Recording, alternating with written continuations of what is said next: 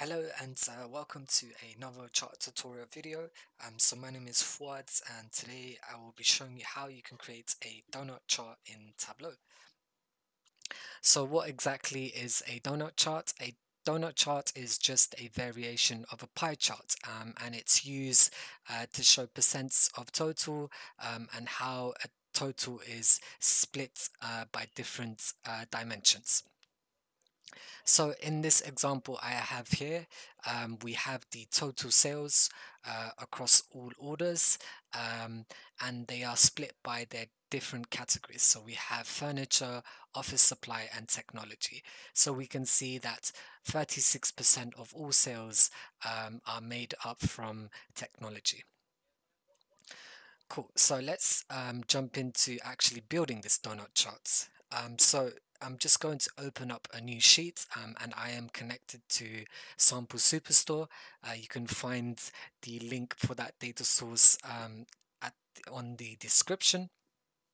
Um, so the first thing that I want to do is change my marks type. So at the moment my marks type is just set to a text. I want to change that to a pie. Um, now I need to think about how I want my pie to be, what I want my pie to be sized by, um, and I want it to be sized by uh, the sales. So each uh, proportion of my pie um, should show me uh, the amount of sales. Um, so I'm just going to switch this to entire view. So this is just giving us a blank circle um, and that's fine. We just need to um, add the level of detail and how we want to split this um, pie chart. Um, so we wanted to do it by category. So I'm going to go ahead and drag category into color. Um, so now that has split my pie into three segments, um, each one representing a category.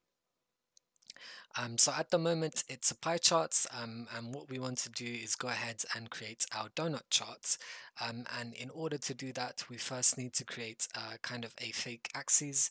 Um, so what I'm going to do here in rows is just double click and create a fake axis and just call this average one um, so that's going to put my pie chart into this axis, um, but I want to center it, so I'm going to edit this axis um, and change it to 0 to 2, so it's in the middle. Uh, so now we have our pie chart in the center. Um, and now what we can do with this uh, field is we can duplicate it and create a dual axis um, in order to create our donut chart. So I'm going to hit control um, and left click on this field and drag it to the right. Um, and this will create me an exact copy of it.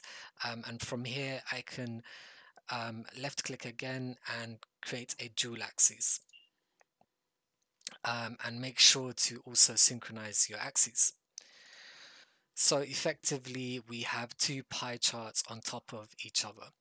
Um, so with the second pie chart, um, I'm just going to remove what I don't need. So I don't need any of this. Um, I just want a blank pie chart uh, and the reason for that is um, I can size this uh, so that it has the effect uh, that we've created a donut chart. Um, so I'm going to go ahead and change the size to something a bit smaller um, so you can start to see we're getting a donut charts. You can play around with this um, as much as you like. Um, I'm just gonna keep it roughly around this size. I think that's good. Um, and then what I'm going to do, rather than it being grey, I'm just going to change the background of the circle uh, to white.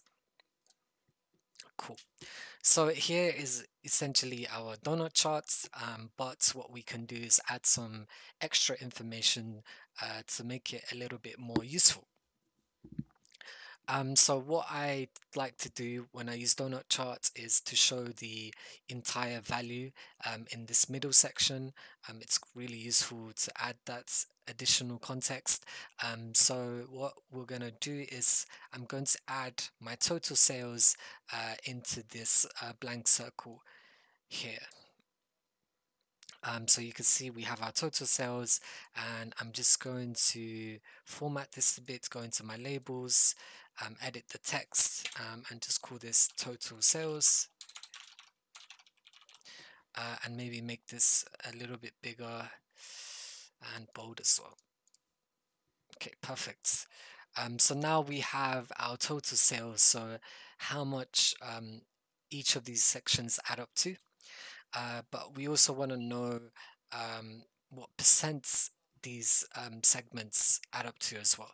So I'm going to go back to my first pie charts and here um, I'm going to add a percent of total label. Um, so in order to do percent of total, what I can do is drag um, sales into label first. Um, so this is just going to give us the actual number of sales, but if we want this as a percent of total, uh, we could create a table calculation. Um, so if you left click on these fields, you can add a table calculation and change this to a percent of total.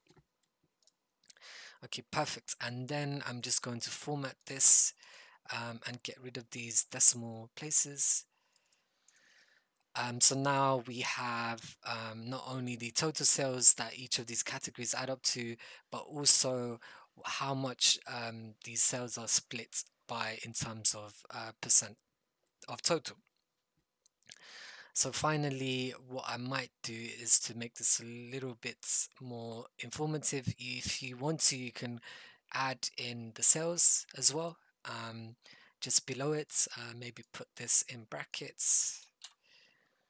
Um, and maybe increase the size of this one a little bit.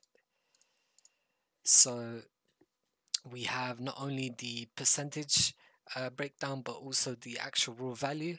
Um, and finally, if you really want to get fancy, you can color your values um, the same as your categories are colored.